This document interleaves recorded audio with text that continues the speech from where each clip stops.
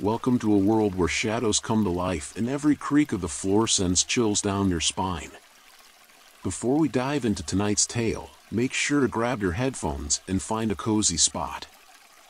The eerie whispers and unsettling sounds are best experienced up close, and listening through headphones will make every spine tingling detail come alive. As darkness falls and you prepare for sleep, let our story wrap you in its chilling embrace. Are you ready to face your fears? Close your eyes and let the terror begin. This incident occurred during the summer of 2016. For some context, my parents frequently went on vacation, leaving me alone at home for two weeks to look after our dogs and maintain the garden.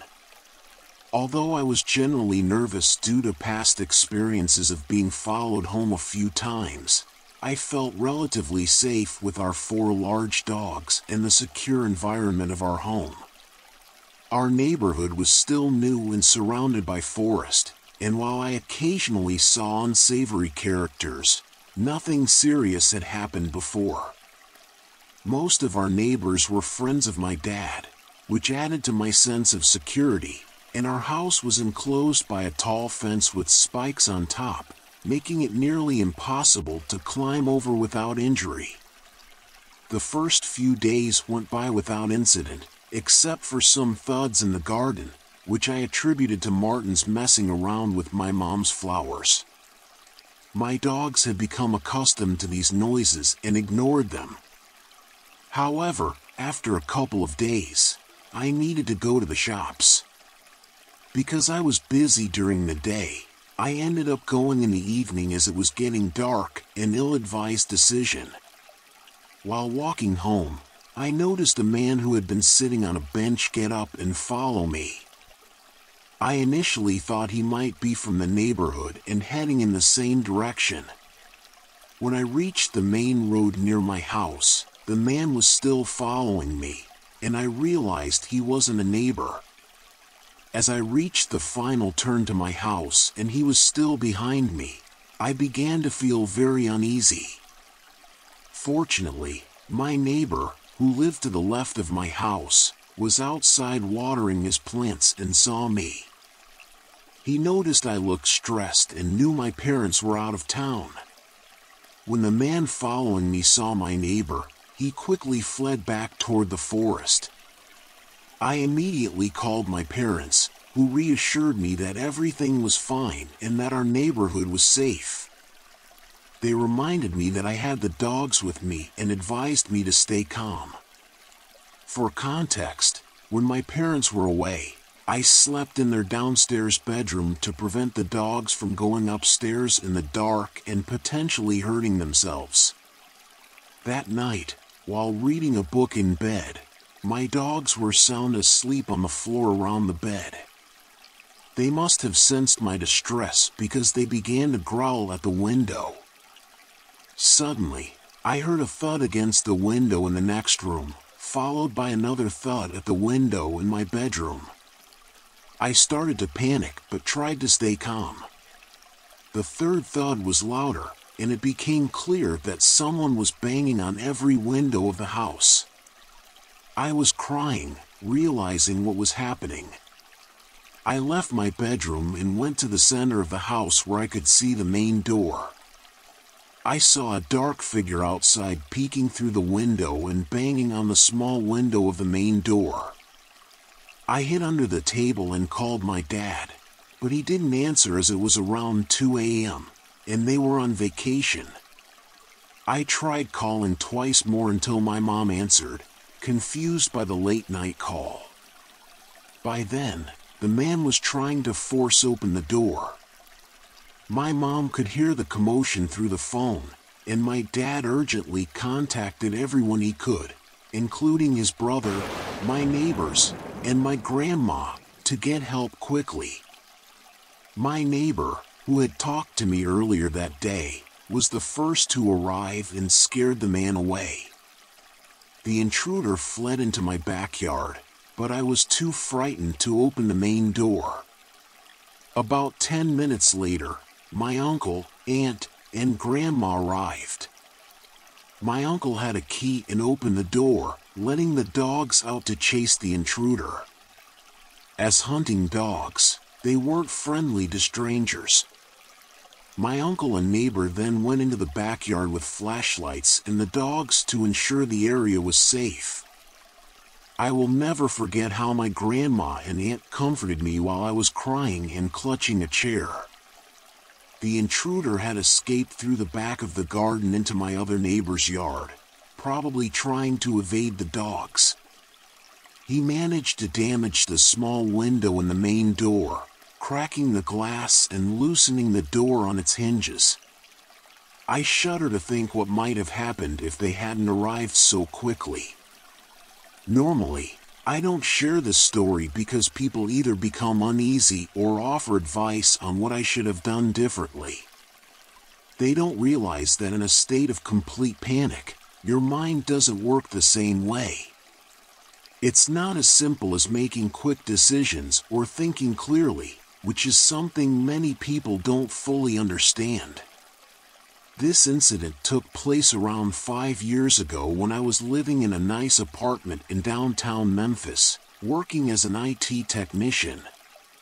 I came home from work at my usual time, around 4:30 p.m., unlocked the door, and went inside.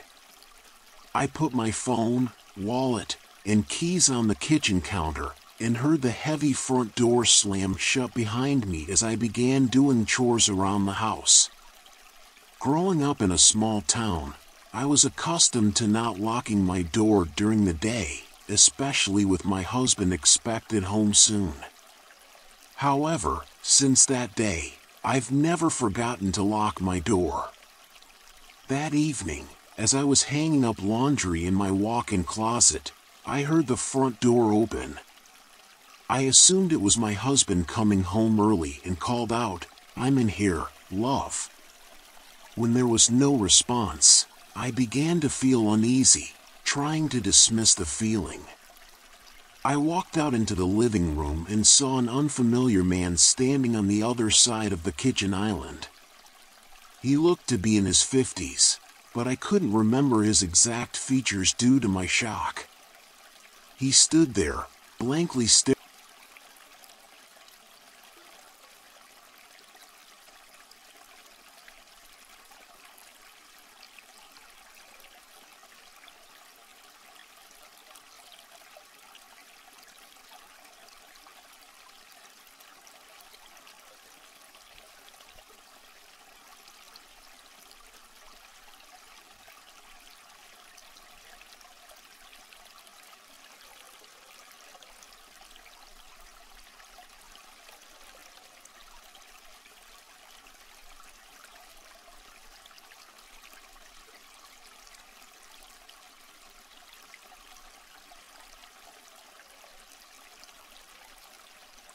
We were about 12 to 15 feet apart, so I thought I could grab the laptop and run before he could catch me.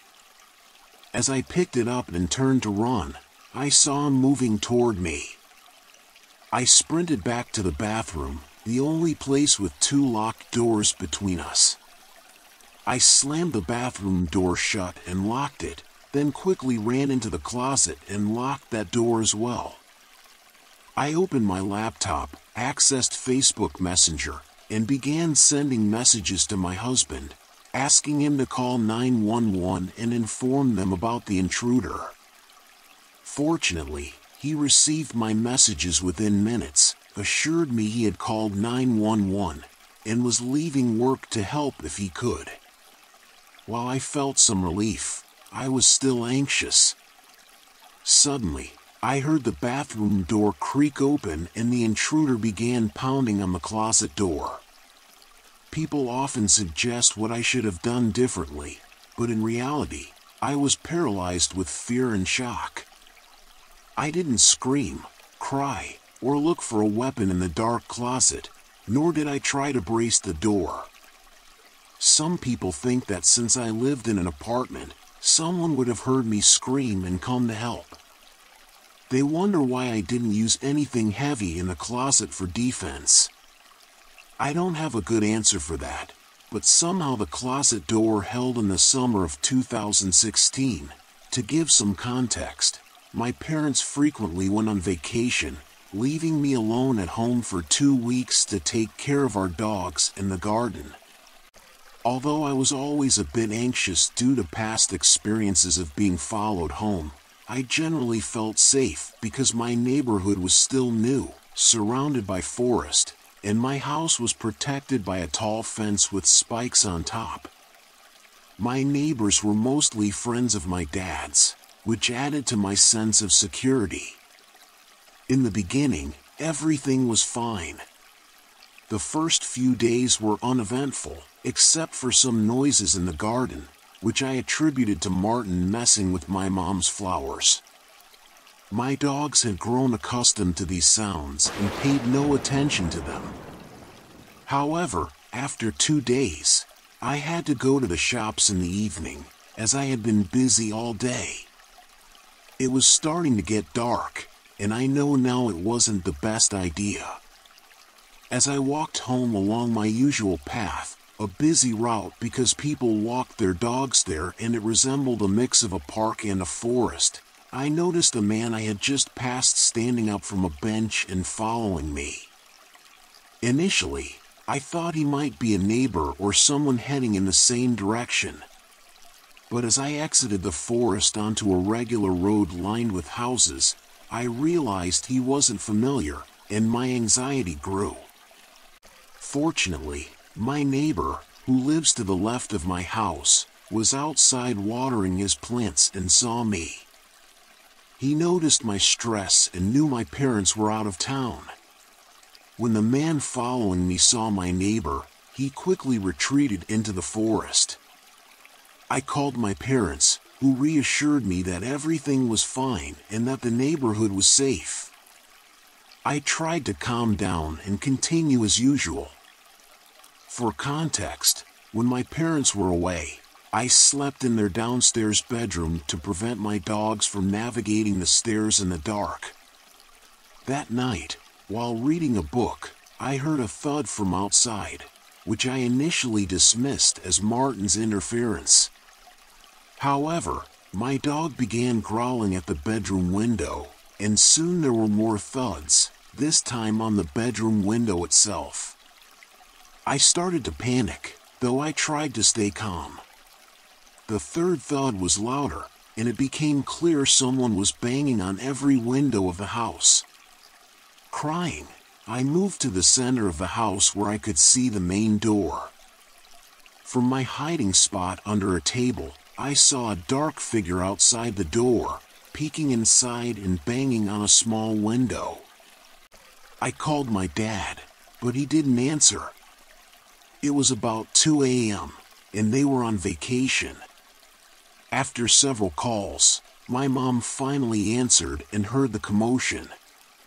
My dad urgently contacted everyone who could help his brother, my neighbors, my grandma. My neighbor from earlier that day was the first to arrive and scared the intruder away. The intruder fled to my backyard, but I was too terrified to open the door. About 10 minutes later, my uncle, aunt, and grandma arrived. My uncle used the key to let the dogs out, and they chased the intruder. My uncle and neighbor, with flashlights and the dogs, checked the backyard to ensure it was safe. I will never forget how my grandma and aunt comforted me while I cried, clutching a chair. The intruder had managed to damage the small window in the main door, cracking the glass and loosening the door on its hinges. I shudder to think what might have happened if they hadn't arrived so quickly. Normally, I don't share this story as people either get uneasy or offer advice on what I should have done. They don't understand that panic doesn't allow for quick decisions or clear thinking. Fast forward to about five years ago, when I was living in a downtown Memphis apartment and working as an IT technician. After coming home from work one day, I unlocked my door and went inside, placing my phone, wallet, and keys on the kitchen counter. I heard the heavy door slam shut behind me and began doing chores. Growing up in a small town, I was accustomed to not locking the door during the day, especially since my husband would be home soon. But that day, I realized I had been too lax.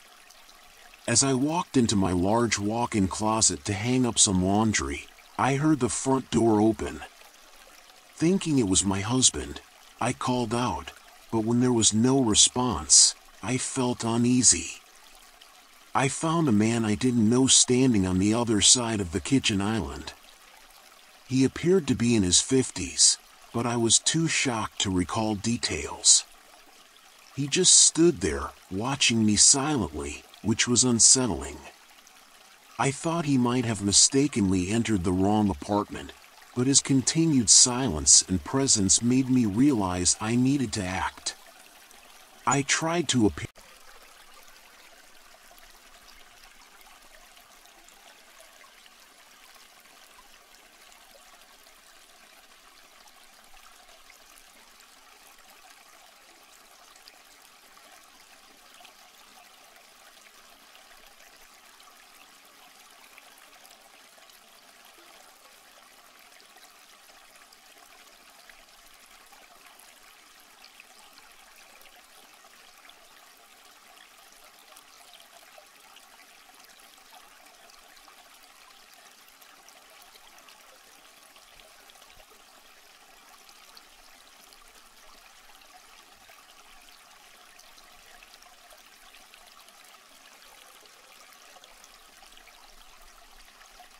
As I waited, I heard the intruder trying to break into the toolbox.